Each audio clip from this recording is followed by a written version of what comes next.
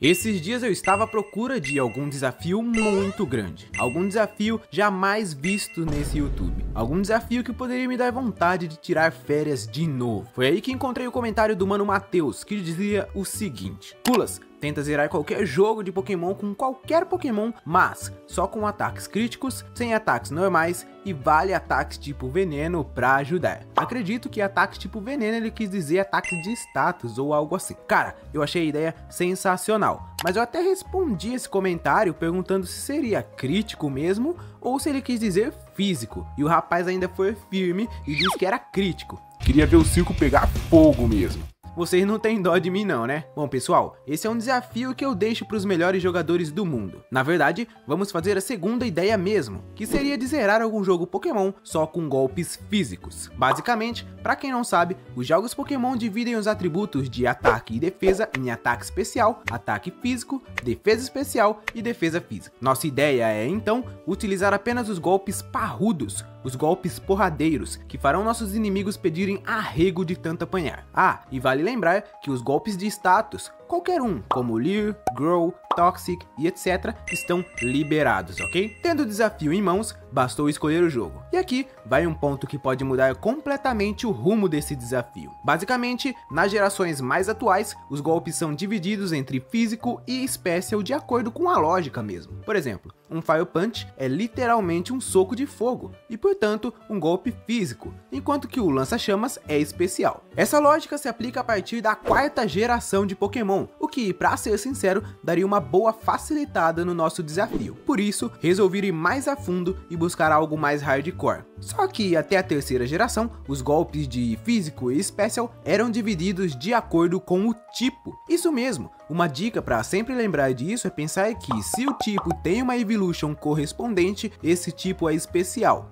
com a adição do tipo dragão que não tem evolution ainda. Dessa forma, por exemplo, todos os golpes do tipo fogo, elétrico e água são especiais enquanto que os do tipo metal, fantasma e ground são todos físicos. Percebam que, com isso, meio que já restringimos muito a quantidade de tipos que podemos usar durante o jogo. Por fim, o jogo escolhido foi o tão especial Pokémon Crystal, um jogo que se passa em Johto e está na segunda geração de Pokémon, onde tudo ainda era mato. Cara, isso vai ser demais. Ah, e eu já ia me esquecendo, por favor não deixem de conhecer o grande Discord do canal, onde temos muitas conversas, bots e alegria espalhada para todo lado. Além disso, você também pode visitar o Pokéverse, que é um gigantesco servidor da comunidade de Pokémon. Lá, você pode participar de diversos eventos, assistir uns filminhos, além de, claro, fazer muitos amigos. Além disso, o canal Kulas Games está fechadíssimo com a LR Games, referência nacional no desbloqueio do console Nintendo Switch. Aqui, você pode desbloquear o seu querido videogame com muita qualidade e segurança. Tudo isso no precinho que nós adoramos.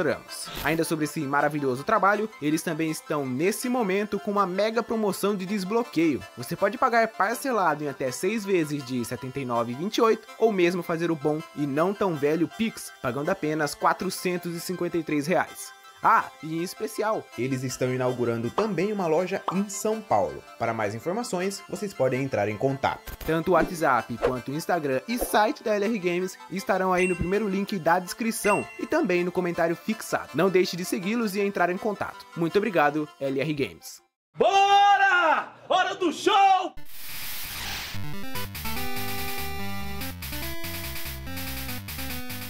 Ah sim, enquanto eu começo a gameplay, fazendo todo o começo básico do game, eu gostaria de deixar avisado que eu tive uns problemas com o meu PC um pouco antes de começar a gravação. Para não ficarmos muito tempo sem vídeos, eu acabei gravando essa run inteira pelo celular. Então, se vocês perceberem alguma queda de qualidade ou algo do tipo, pode ser por isso. Mas pessoalmente eu acho que isso não vai acontecer não. Até porque Pokémon Crystal não é o tipo de jogo que resolução vai fazer muita diferença, né? No começo da minha jornada, como é padrão, vou lá falar com o professor Elme, o grande cabeção de Johto. Como iniciais, podemos escolher Cyndaquil, do tipo fogo, Totodile, do tipo água, e Chikorita, do tipo grama. Cara, todos esses tipos são especiais. Além disso, eles aprendem pouquíssimos golpes que não são especiais, ou seja, golpes de outros tipos. Acabou que eu peguei o Totodile, pensando em ter um grande Feraligator lá na frente, que já é bem voltado para ataque físico. Só teria que arrumar bons golpes para pôr nele então. Mais pra frente eu me encontro com o Sr. Pokémon e o Professor Carvalho, lá naquela casinha depois da cidade cerejeira. O motivo de eu ter ido até lá foi para pegar o ovo do Sr. Pokémon e levar pro Elm dar uma analisada. Nesse tempinho que fiquei fora, o bicho deu conta de ser roubado, e quem teve que pegar o ladrão fui eu. Aqui temos nossa primeira batalha contra o rival, que foi bem tranquila. Nesse começo, o Totodile só sabe o Scratch mesmo, então vou usando ele, fazer o que, né? Depois de chegar no laboratório e falar pro policial que eu peguei o ladrão, entregamos o ovo ao Elm e seguimos nossa jornada, com o objetivo de chegar em Violet City, cidade que abriga o nosso primeiro ginásio. Antes disso, no caminho, faço algumas capturas, em especial um PJ e um Ratatá, que me acompanhariam para o resto de minha jornada, me ajudando em inúmeros desafios. Bom, antes de irmos enfrentar o ginásio do tipo voador que fica nessa cidade, precisamos ir até a Torre Bellsprout. Isso é bom tanto para dar uma treinada, quanto para realizarmos mais uma captura. Eu estou falando do Gastly, um Pokémon do tipo venenoso e fantasma, e sim, ambos são físicos nessa geração. Vai ser muito massa mandar Shadow Ball atrás de Shadow Ball com Gengar, hein? Certo. Ao fim da torre, enfrentamos o velhinho aí boladão e podemos seguir. Antes ainda de ir ao ginásio, capturo um Bellsprout e faço a famosa troca pelo Onix do NPC aqui nessa cidade. Isso é muito bom, pois além do Onix ser um Pokémon muito forte, que nos dará vantagem contra o tipo voador, os Pokémon recebidos de trocas ganham muito mais XP. Então, nossos treinamentos seriam muito mais fáceis. Com meus monstrinhos no nível 9, respeitando o level cap, vamos até o líder e começamos a batalha, que é bem simples, pois ele só tem um PJ e um Pidgeotto. Inclusive, eles foram completamente derrotados apenas pelo meu Totodile, que com seus ataques consecutivos de raiva e o uso de uma Berry, conseguiu dar muito dano nos monstrinhos. Para quem não sabe, o ataque Rage fica mais forte a cada vez que seu Pokémon apanha após usar o ataque. Como os pássaros do Falkner não estavam me dando muito dano, Totodile acabou ficando monstruoso de forte e garantindo a vitória. Pegamos então o TM do Mudslap, que é tipo um Sand Attack, só que melhor. E depois, pegamos de volta o ovo do Sr. Pokémon, que estava com o assistente do Professor Elm na Pokémart. Bom, nós sabemos que dele choca um Togepi, que eu não vou usar, então, whatever. A próxima cidade que pisamos é Azalea. Lá, fazemos todo aquele rolê da equipe Rocket e do velho Kurt. Após salvar nossos queridos Slowpokes, vamos até o ginásio do Bugsy, mestre do tipo inseto. Aqui, eu tinha muita arma para utilizar, como meu Pidgey e até mesmo o meu Onix. Ele começa com o seu lendário Metapod, que me dá um daninho muito miserável e cai em sequência para alguns Gusts. De segundo Pokémon, já vem o Scyther, e aqui tivemos um grande problema. Esse bicho usou tanto Furry Cutter, por conta de eu não ter dano suficiente para matá-lo, que ficou impossível de derrotá-lo. Basicamente, como esse golpe vai ficando mais forte a cada vez que é utilizado, ele ficou com força o suficiente para acabar com todos os meus Pokémon de primeira. Faço então uma segunda tentativa, dessa vez um pouquinho mais forte. Para ser sincero, eu não fiz muitas coisas de diferente não. Eu diria que eu tive mais sorte mesmo, já que ele utilizou alguns Quick Attacks ao invés de só focar no Furry Cutter. Como terceiro e último Pokémon, o líder tem um Kakuna, que dá tanto trabalho quanto o Metapod, ou seja, nenhum. Antes de metermos o pé para a próxima cidade, precisamos enfrentar novamente nosso rival Pablo, que agora tem vários Pokémon extras. De modo bem geral, meu humano PJ, que estava a nível bem alto por ter derrotado todos os Pokémon do líder sozinho, acabou conseguindo eliminar o Gastly, Zubat e Bayleaf do rival, ganhando ainda mais nível e evoluindo para um belo Pidgeotto. Quando chego em Goldenrod City, vou direto atrás de uma bike, porque eu não estava mais aguentando andar a pé nessa lerdeza. Além disso, eu queria obter aqui mais um monstrinho para o time, que me ajudaria muito contra esse ginásio, além de ser um excelente boost de poder para o time no geral. Estou falando do Machop, que conseguimos por troca nessa cidade. No entanto, diferente das versões Heart Gold e Soul Silver, não trocamos um Drowsy pelo monstrinho, e sim um Abra. E eu fui descobrir só depois que dava para capturar o Abra, mas eu acabei comprando um lá no cassino da cidade pela bagatela de 2 mil Pokécoins ou 100 moedas do cassino. Depois de realizar a compra, basta ir ao prédio da Pokémart e procurar por esse carinho, que vai te dar um Machop em troca do Abra. Aí foi basicamente enfrentar todas as capangas do ginásio, o que fez com que o Muscle ganhasse bastante XP. Após uma leve treinadinha para chegar no nível 16, começa a batalha contra a famigerada Whitney, que não chega a ter nem metade metade do seu poder que tem nos remakes dessa região.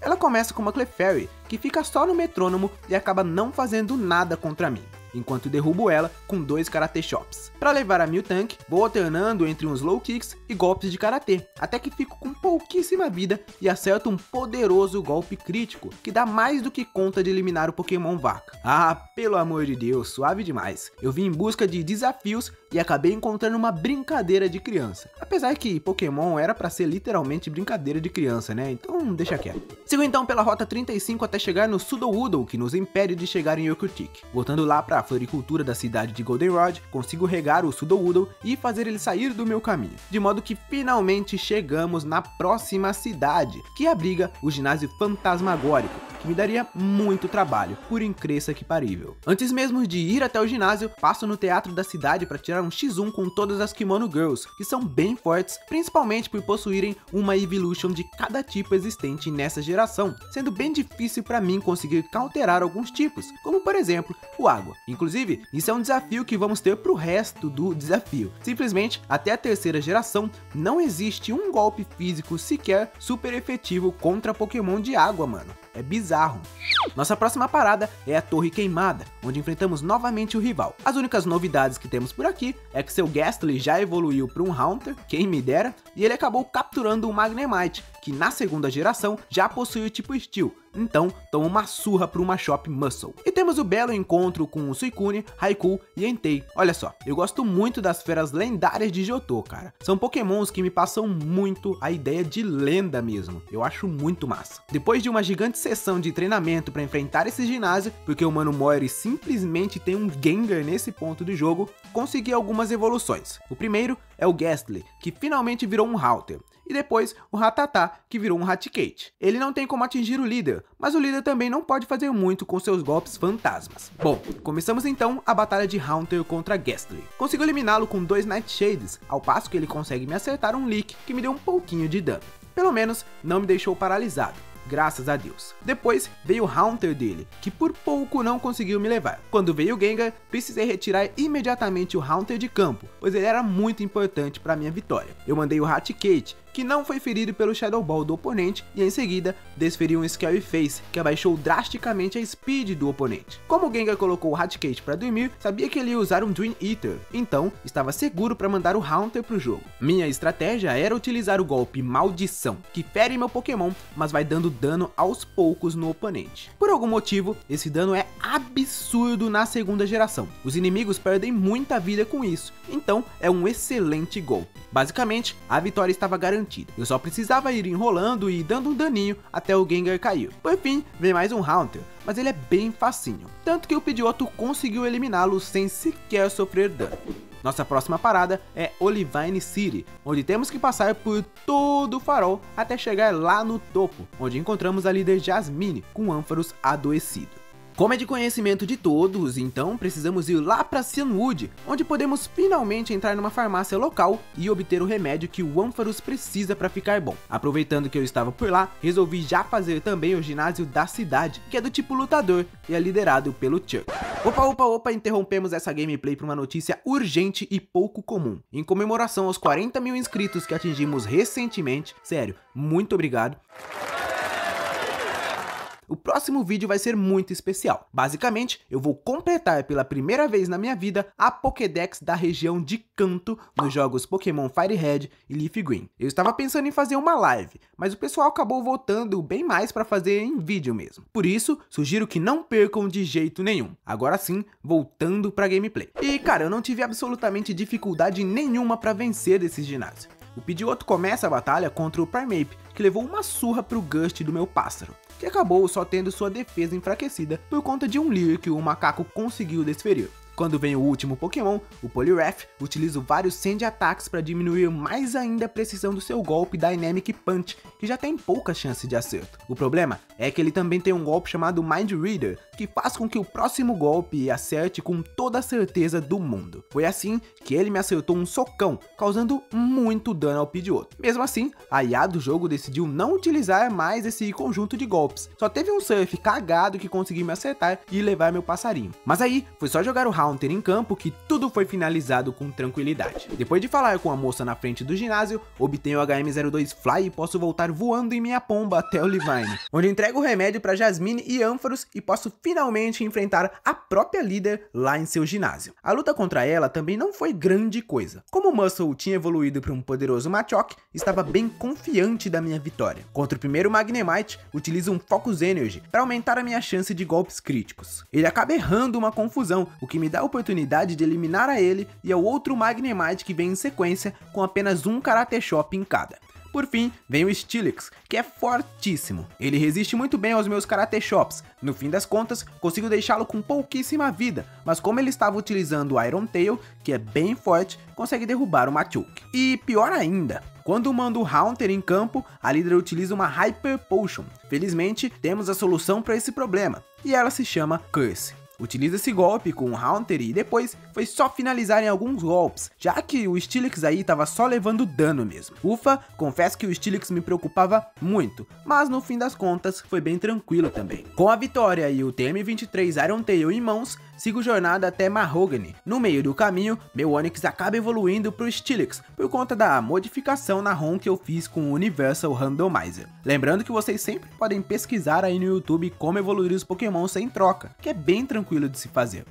Lá na próxima cidade, faço toda a treta do Red Gyarados e do Lance contra a equipe Rocket em seu esconderijo. Aproveitando que eu teria que fazer muitas batalhas, capturo um Pokémon que iria entrar no lugar do nosso Croconal, que até agora estava fazendo muito pouco pelo time. Tô falando do grande Growlithe, que tem uma evolução tão forte que é quase um pseudo lendário da região de Canto. Como eu tinha conseguido a Pedra do Fogo de um NPC no jogo, poderia facilmente evoluí-lo para Arcanine no melhor momento. Bom, ele é do tipo fogo, o que significa que não poderei utilizar nenhum stab com ele, né? Mas mesmo assim, seu ataque físico é incrivelmente alto, além de ele aprender bons golpes como Takedown, Headbutt e principalmente Extreme Speed. E então eu teria um grande desafio pela frente agora, que seria derrotar o grande líder Price somente utilizando o Arcanine. Basicamente, igual eu descobri no meu vídeo de Pokémon Heart Gold com um time de inscrito, o Price tem um level cap menor do que a Jasmine em Olivine. Todos os nossos outros Pokémon já ultrapassaram o nível 31, pois fizeram muitas batalhas. Então, não temos outra opção a não ser destruir tudo com Arcanine mesmo. Seu primeiro Pokémon, Seal, recebe um Leer e revira com Ice Wind, que diminui minha speed. No entanto, ainda assim eu consigo atacar primeiro com um Takedown, que elimina de uma só vez o Pokémon, mas me dá um sincero daninho em troca. Dilgong também recebe um Leer, mas começa atacando com cabeçadas. Diferentemente de sua pré-evolução, ele não é tão fraco ao ponto de cair para um Takedown só, então acabo recebendo bastante dano precisamos apelar para minha Goldberry equipada, que me recupera 30 pontos de vida. Com isso, elimino a segunda foca e resta somente o grande Piloswine. Eu precisaria ter muita sorte, pois o grandão aí sabe Blizzard, um excelente golpe do tipo gelo, mas com pouca precisão. Graças a Deus, ele erra o primeiro golpe, dando brecha pro Arcanine mandar um Leo. No segundo turno, ataco-o com um takedown e recebo mais dano em troca. Como se não bastasse, ele dessa vez acertou o Blizzard. Só não deu tanto dano pelo fato do Arcanine ser do tipo fogo, que tem resistência ao tipo gelo. Felizmente, com o segundo golpe, consigo eliminar a fera gélida. E mais felizmente ainda, Arcanine resiste ao dano de recoil do seu ataque, Sendo assim, desafio cumprido com sucesso. Vencemos o líder utilizando apenas nosso Arcanine. Saindo do ginásio, precisamos voltar para Goldenrod, que estava sob ataque da maléfica equipe Rocket. Fazemos muitas batalhas contra grandes nomes, inclusive nosso rival ali no meio, mas nada de especial. No fim, conseguimos salvar o diretor da grande rádio de Goldenrod, então fazemos nossa batalha contra aquele admin lá que teoricamente ficou no lugar de líder depois que o Giovanni desistiu deles. Enfim, é tão bucha que nem tem um nome nesse jogo jogo e nem vale muito a pena ficar gastando tempo de vídeo com isso.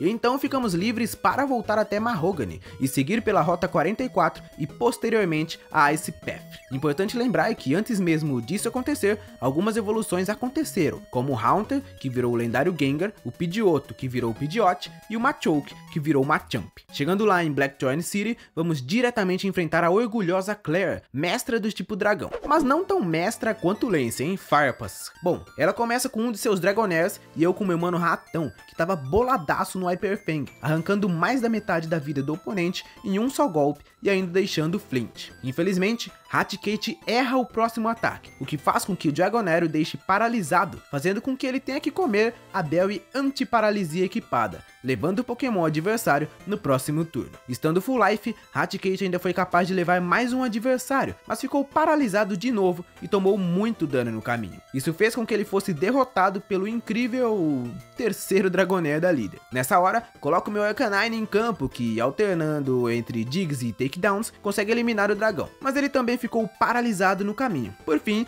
vem um Kindra, que com um poderosíssimo Surf consegue explodir meu Arcanine, me forçando a apelar para a velha estratégia do Curse com o Gengar. Por conta do dano tomado, logo ele vai de Burst. Para finalizar, mando o Pidgeot e, só para brincar, uso inúmeros Sand ataques no Kindra e posteriormente vou minando sua vida com os Flies. Após vencer da Claire, provar verdadeiramente o meu valor lá na Dragon's Den e finalmente receber a insígnia, estou pronto para ir até a Liga Pokémon desafiar os cinco treinadores mais fortes da região de Johto. Apesar que, teoricamente, essa liga é a mesma de Kanto, né? E de Kanto, eles com certeza não são os mais fortes. Mas enfim, Surfando à direita de New Barktown, chegamos numa grande rota onde, ao seu fim, está localizada a Victory Road. Bem na saída da caverna, enfrentamos pela última vez o nosso rival. Ele começa com seu Sneasel, que conseguiu dar bastante dano no nosso doguinho gigante de fogo mas acaba caindo. Quando vem o Golbat, decido manter o Arcanine para ver até onde dá. Infelizmente, após receber dano de seu próprio takedown,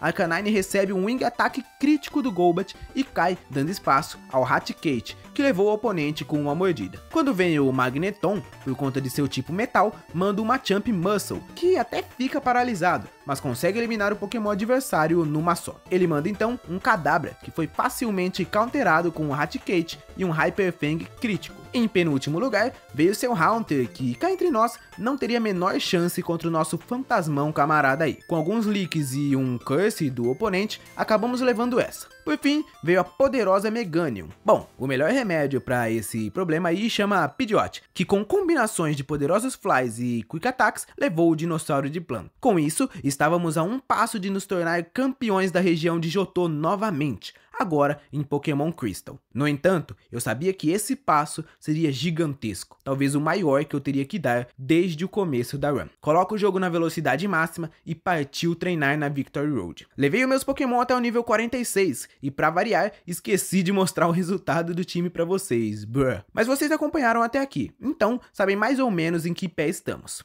O primeiro membro da Elite Four, como vocês já sabem, é o Will, mestre do tipo psíquico. Como ele começa com o Zato, manda o Rock, que deveria conseguir eliminá-lo tranquilamente com seus Rock Trolls. Infelizmente, essa bomba não aprende nem um Rock Slidezinho, velho. Que dificuldade. Acabei conseguindo levar o Zato e então veio um Executor. Para conseguir eliminá-lo, preciso da ajuda do meu Pidgeot, que felizmente entra em campo tomando um Psychic. Depois, conseguiu acertar um Fly e tomou mais um danão, mas finalizou num Quick Attack. Para Jinx, eu aproveito que estava em campo e muito miado e utilizo um Mud Slap, que além de dar um daninho, também diminui a precisão da Pokémon. Aí acabei enviando o Rock para tentar um Iron Tail, mas o bicho fez o favor de ficar dormindo. Troquei então para uma Champ, que resiste muito bem a um Ice Punch e desvia de mais um Lovely Kiss, acertando em cheio um Vital Troll e eliminando de vez o adversário. Pro Slowbro, eu até tento fazer umas graças com uma Champ e seu crítico potencializado pelo Focus Energy, mas o porcão tava se bufando muito com Curses e conseguiu resistir por tempo suficiente até meu Pokémon cair. Então, mando meu Gengar e utilizo o mesmo golpe que tem efeito diferente em Pokémons do tipo Fantasma, para garantir que esse monstro cairia cedo ou tarde. Como ele estava com a defesa física bastante aumentada, fiquei com medo do Shadow Ball não ser o suficiente. Após perder também o Gengar, mando o Arcanine e desfiro um Dig, que graças à ajuda do Curse foi capaz de levar o Pokémon. No último Pokémon, outro Zato chato utiliza a velha estratégia do Arcanine com Leer e Takedown, que elimina o bicho de prima. Depois do Will vem o Koga, que, para ser sincero, foi bem tranquilo. Ele começa com Ariados e, por isso, manda o Pidgeot, que com apenas um Fly eliminou a aranha. Fortress é muito problemático, pois tem uma defesa física absurda. Seria praticamente impossível eliminá-lo na porrada. Por esse motivo, utilizo o Curse do Mano Gengar e aí foi só esperar o bicho de Burst. Pro Venomoth, a melhor solução também é o Pidgeot, que conseguiu levar a mariposa também em um hit. No Muck, utilizo o Mud Slap, e quando ele manda um Minimize, troco pro Steelix e dou a cagada de acertar dois Earthquakes seguidos que acabam com um Pokémon que estava com evasiva muito aumentada. Crobat também entrou nessa brincadeira com seus Double Team, o que fez com que o Rock errasse muitos ataques, demorando bastante para conseguir essa vitória, ainda mais com o líder curando o morcegão. Pelo menos, depois dele, a batalha foi finalizada. Posteriormente, fui lutar contra o Bruno, que começou com um Hitmontop, que jantou o meu Pidgeot. Basicamente, em todo turno que eu ia atacar com o Fly, o bicho usava seu Detect, conseguindo me dar dano antes de subir pro céu com seu Quick Attack. Isso me obrigou a levá-lo na porrada também. E pro Onix, eu mandei seu pai. Não, não seu pai, o pai do Onix, o Steelix, que conseguiu um belo de um Iron Tail que eliminou a cobra de pedra de uma só vez. Para levar o Hitmonlee, contei com a ajudinha do Sandstorm do Steelix e em seguida de poderosos Confuse Rays e Shadow Balls do Que também conseguiu eliminar o Hitmonchan na mesma jogadinha. Quando entra seu Machamp, decido sacrificar o Gengar com o Curse. Após isso, mando o Pidgeot que dá um puta de um dano no Fortão com um Fly, mas acaba caindo no Cross Chop em sequência. Achando que estava com o jogo ganho, mando o Raticate, mas o Eliter se cura e acaba conseguindo levar também minha Ratazana, visto que ela errou um gol. Para pôr fim nessa história, uso o Arcanine, que não brinca em serviço e conseguiu vencer a batalha para nós.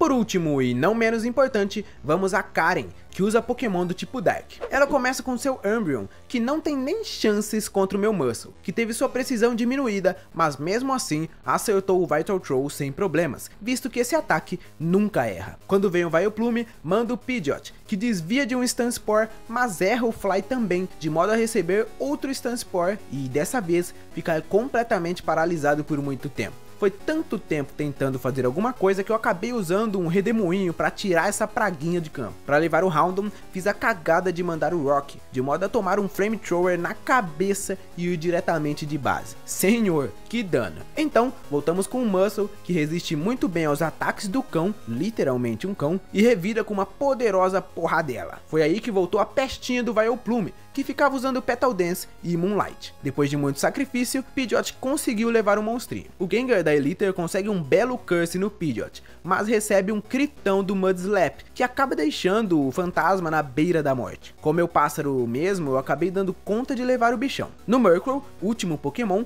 mando o Gengar e dou um curse que, cá entre nós, não era nem necessário. Mesmo assim, mando o Raticate, que com um Super Fang e um Hyper Fang, leva o passarinho bruxo. É, meus amigos, agora chegou a temida hora. Hora de enfrentar o Lance, mestre do tipo dragão e campeão da região de Johto. Bom, o editor vai deixar aí aceleradinho as minhas tentativas falhas de batalha contra esse cara. Eu gravei duas delas, que foram tentativas muito frustradas. Simplesmente eu não estava conseguindo achar a vitória de maneira nenhuma.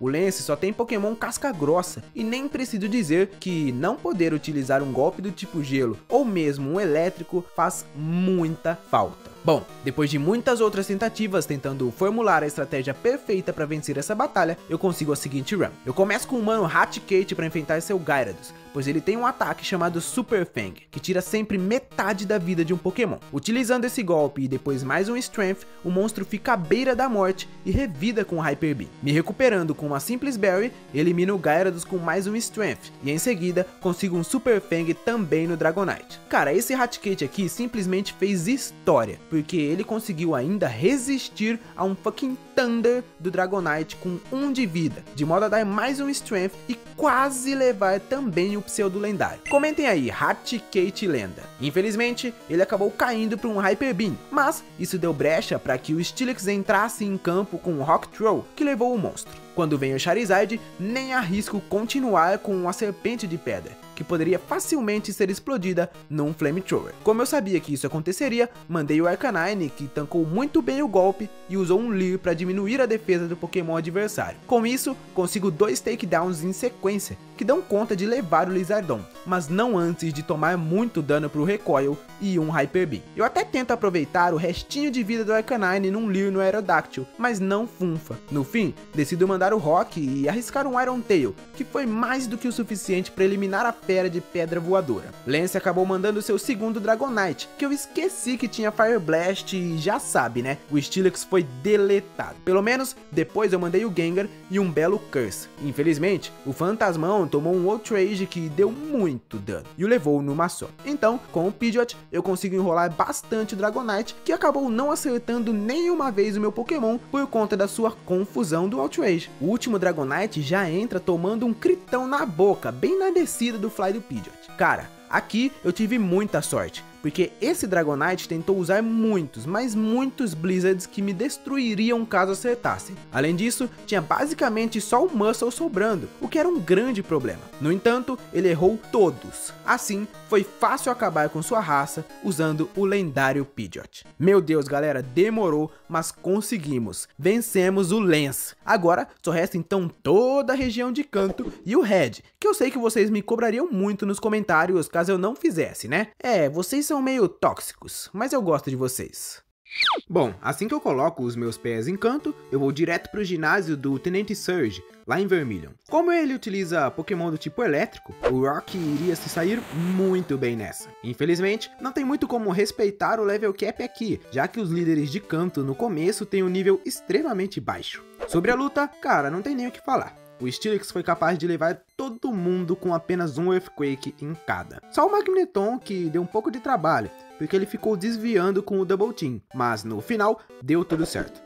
A próxima cidade que eu passo é Saffron, onde enfrentamos a temida Sabrina, líder do tipo psíquico. Felizmente, eu também tenho a arma perfeita para esse desafio, que é o Gengar. Apesar do seu tipo venenoso, que tem fraqueza ao psíquico, Gengar era muito rápido e foi capaz de nocautear todos os Pokémon oponentes com um Shadow Ball, antes mesmo deles poderem fazer qualquer coisa. Depois, vou para Celadon, onde enfrento a grande Erika, especialista no tipo planta. Também tem um monstrinho que lida muito fácil com esse tipo, que é o Pidgeot. No entanto, inegavelmente, ele não é tão forte como os outros. No começo, acabei dando um quick attack nesse Tangela sem querer, de modo que ele me acertou um Sleep Powder e o Pidgeot quase foi de arrasta de tanto dano que ele tomou dormindo. Depois, ele acordou e conseguiu dar um bom dano no miojo, mas acabou dormindo de novo e foi derrotado. Nossa, que feio, hein? Bom, mas aí entrou o Kate, que com seus belos Strengths, que inclusive tem uma animação muito da hora nessa geração, conseguiu levar quase todo mundo, mesmo não dando super efetivo. Só quem conseguiu resistir mesmo foi o Belossom, mas ainda tínhamos a equipe inteira. Com o Arcanine, consegui finalizar essa batalha sem nenhuma dificuldade. Seguindo pela rota da bike, chego em Fuxia para enfrentar a Jane, a filha do Koga. E sério, ela é tão fraca que eu até confundi ela com uma das capangas, já que aqui no ginásio todos ficam com a mesma skin da líder para tentar nos enganar. E deu certo. Quando eu fui ver, já estava no meio da batalha e era tarde demais para começar a gravar. Basicamente, o que sobrou da batalha foi o Gengar deitando nos Confuse Rays e Shadow Balls o Weezing da líder. Eu peço perdão pelo vacilo, mas eu acabei sendo trollado pelo jogo. Posteriormente, vou lá para Cerulha enfrentar a Misty, em seu belo ginásio de água. Como eu não tinha ninguém para dar super efetivo, fui no Hatikate mesmo. O bichão foi capaz de levar o Golduck e Quagsire, ambos com dois strengths em cada. O Lapras quase foi também. Hatikate só caiu por conta dos poderosos Blizzards desferidos pelo adversário, que acabaram dando muito dano. Felizmente, Gengar entra em campo e acaba não só com Lapras, mas também com o último Pokémon da líder, a Starmie, que por ser também do tipo psíquico, toma super efetivo pro Shadow Ball do nosso Pokémon. Aqui temos um ponto interessante. Antes de ir para a próxima cidade, tenho a oportunidade de capturar um Snorlax. Tive que fazer todo um rolê bem grande para liberar a Pokéflauta no Pokégear e conseguir despertá-lo. Eu realmente estava pensando muito em colocá-lo no lugar do Hatikate, principalmente pelo fato dele já vir no nível 50, o que seria muito bom. No entanto, um bom treinador Pokémon nunca abandona seus amigos. Então, iria com esse time mesmo até o fim. Atravessando a Diglett's Cave, chego em Pilter, cidade que abriga o ginásio do Brock, do tipo pedra. Assim como a maioria dos ginásios onde temos super efetividade, consigo vencer de todos os Pokémon dele com uma Champ, bem de boas, utilizando o Vital Troll. Como ele sempre ataca por último, recebi bastante dano no processo, mas mesmo assim, nem se compara ao dano causado.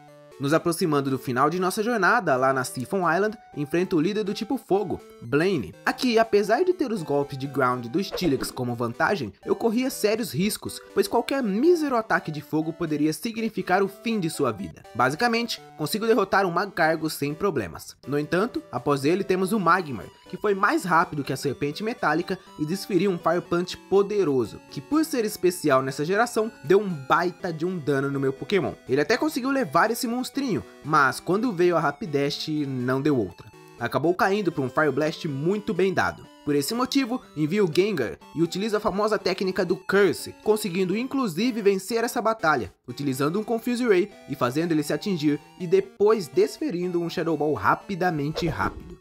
A nossa última batalha de ginásio da jogatina é com o Blue, ou Gary se preferirem. Ele tem um time bem diverso, similar ao que ele utiliza nos jogos da primeira geração. Começamos de Steelix contra Pidgeot, e claro que nessa eu levei a melhor, pois conseguia causar um bom dano com Rock Trolls, enquanto a ave sequer me arranhava. Quando veio o Gyarados, senti que poderia ter problemas, então mandei logo o Gengar e utilizei um Curse. Após isso, como o Gyarados usa Rain Dance, aproveito para deixá-lo confuso e, para minha sorte, ele se bate. Confiei no dano do Shadow Ball, o que por si só não foi o suficiente para levar o Gyarados, mas ele acabou se batendo de novo e perdeu. Depois veio Raidon. Como os Confuse Rays do Gengar estavam muito eficientes, eu utilizei mais um e depois troquei para o Pidgeot, já que eu não poderia ser atingido por seus Earthquakes. Aproveitei para spamar bastante Mudslaps, dificultando para o inimigo acertar qualquer golpe. Depois, mandei o Steelix e finalizei no Iron Tail. Executor era bem problemático e acabou usando um Solar Beam enquanto troquei pro Gengar. Não tinha certeza se o Shadow Ball dava conta de primeira, então preferi deixá-lo amaldiçoado, resultando na queda do meu Gengar em sequência. No entanto, ainda tinha o Pidgeot com metade da vida. Sincronizando os meus Flies com o turno que um Solar Beam atacava, consegui desviar de todos os seus ataques e derrotá-lo em sequência. No Alakazam eu até tento dar um Mudslap, mas ele é bem mais rápido que meu pássaro, que foi derrotado. Então, coloco o Arcanine e com a combinação de dois Extreme Speeds consigo levar o inimigo. O problema é que ele utilizou um Reflect, que aumenta bastante a defesa do time dele. No caso, só do restante Arcanine. Ele estava 7 níveis acima do que o meu. No entanto, isso não significava que ele era melhor. Como ele estava atacando só com Flamethrowers, aproveitei para usar dois Leers, reduzindo bastante sua defesa e depois, com dois Extreme Speed, sendo o segundo crítico, consegui eliminar o majestoso cão, quase caindo no processo. Ufa, vencemos do segundo treinador mais forte do jogo, o Blue, aquele que só fora derrotado pelo Red, que é o mais forte de todos. Um feito impressionante, não? Falando em Red, meus amigos, receio que tenha finalmente chegado a hora. Indo até o Professor Carvalho, consigo passe livre para ir até o Monte Silver, onde enfrentaremos nosso último desafio. Antes disso, é claro, aproveito para dar uma boa treinada em meus Pokémon, ali no matinho do Monte Silver mesmo, pois temos Pokémon de nível bem alto e que dão bastante XP por aqui. Com meus monstrinhos já beirando o nível 70, eu teria o meu maior desafio, que seria basicamente passar por toda a caverna do Monte Silver sem utilizar o Flash. Isso acontece porque eu não tinha comigo nenhum Pokémon que poderia aprender e como depois daqui já é o Red, eu não poderia trazer outro Pokémon do PC para isso. Diferentemente ainda dos jogos anteriores, não vemos nem as pedras da caverna e muito menos uma luz ao redor do personagem, como é nos jogos mais atuais. O que eu precisei fazer aqui mesmo foi abrir um mapa dessa parte da caverna na internet e ligar o som bem alto, de modo a perceber quando o meu personagem batia nas paredes, até conseguir sair da caverna. Subindo as últimas escadas, estou cara a cara com o maior treinador da história do universo Pokémon, o lendário treinador da região de Kanto, o Red. O Red começa com seu grande Pikachu, nível 81. Ele ataca primeiro, reduzindo drasticamente meu ataque físico com um charme. No entanto, não foi o suficiente para evitar que ele caísse em sequência para apenas um Earthquake. No lugar do Lapras, que Red tem Heart Gold e Soul Silver, ele tem um Espion. Eu não queria arriscar perder meu Gengar para um Psychic, e por esse motivo, dou o máximo de dano possível com o Rock mesmo, que não faria tanta falta no restante da batalha. O grande problema foi o Reflect utilizado pela Evolution, mas até que consegui dar bastante dano antes de cair. Raticate então entra em campo e finaliza o adversário no Strength. No Snorlax, o Super Fang seria meu maior aliado, já que tiraria metade da vida do Pokémon de uma só vez. No entanto, o bicho pôs-se a dormir. Foi aí que resolvi aproveitar e mandar o Muscle, que com alguns Vital Trolls deu conta de eliminar o grande Pokémon, que não cansava de apelar com seus restes e Snores para atacar enquanto dormia. Depois veio Charizard, que conseguiu ser bem mais rápido que o Machamp, como é óbvio, e então levando em um lança-chamas. Com o meu counter perfeito para Charizards, o Arcanine, consigo dois Leers na sequência e depois dois Extreme Speeds, que levaram o Lagarto de Fogo. Sabendo que o Blastoise me explodiria com um Surf, aproveito os últimos suspiros de Arcanine para dar um Leer, amaciando a carne para depois o Raticate entrar com tudo usando o Super Fang e Strength, deixando a tartaruga à beira da morte. Como ele não se curou, bastou mais um ataque e GG. Pro Venusaur, ainda aproveito meu Raticate para um Super Fang, uma pena que não adiantou muito, pois o sapão de grama estava utilizando Giga Drains, que recuperavam boa parte do dano causado a mim. Mas, para ser sincero, bastou enviar nosso Gengar com seu Curse e depois controlar a batalha com um Pidgeot, que tinha muitos recursos para lidar com o Pokémon. Mesmo assim, não foi uma batalha fácil, mas no fim conseguimos levar o último dos Pokémon de Red, levando a vitória para casa. Uhul! Isso aí, pessoal, conseguimos finalizar um baita de um desafio, hein? Cara, já é difícil se considerarmos a quantidade de golpes que não podemos utilizar, e ficou muito mais difícil levando em conta as mecânicas da segunda geração. Bom, eu acho que fizemos um bom trabalho. Meus queridos, muito obrigado por terem acompanhado até aqui. Desejo tudo de bom para vocês sempre. Grande abraço e fiquem bem.